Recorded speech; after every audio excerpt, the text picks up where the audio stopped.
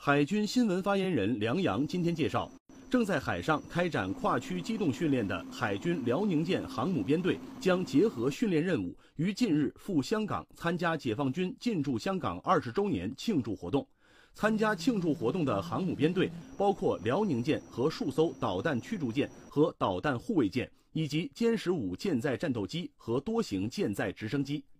在香港期间，编队官兵将与香港市民和驻香港部队开展多项交流活动。辽宁舰及编队属舰还将举行舰艇开放活动。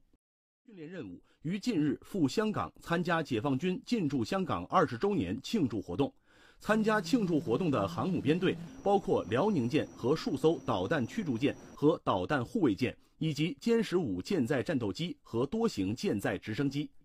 在香港期间，编队官兵将与香港市民和驻香港部队开展多项交流活动。辽宁舰及编队属舰还将举行舰艇开放活动。